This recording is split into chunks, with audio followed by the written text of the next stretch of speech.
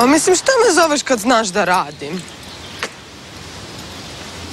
Što radiš? Lakiraš nokte, a? A to to stvarno nekad znaš E, biti Una. Rekao sam ti da se ne svađaš sa mnom. Pa ko se ja svađamo Dosta. se... Što si me zvao?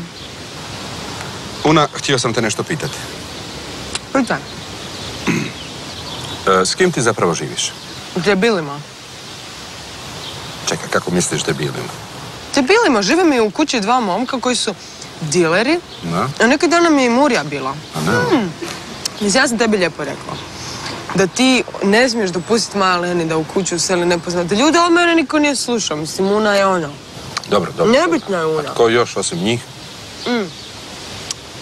Žive dvije ovaj, cure, Stella, ona što radi s tobom, i? Klara, e, da, glupača iz rijeke što se uvaljuje Mateju. Kako misliš uvaljuje? Lijepo mu se uvaljuje. Uvaljuje mu se. Dobila je ulogu u njegovoj novoj predstavi. A juče je izašla fotka na internetu gdje se njih dvoje grle. Odvratno nešto. Pa čekaj, on je profesor, pedagog, bogati. Kako? Pa, Joj, to tako da to ima veze. Pa ta bi ti se fukala s vlastitim ocem samo da dobije ulogu. Una, za milog Boga, kako možeš tako govoriti?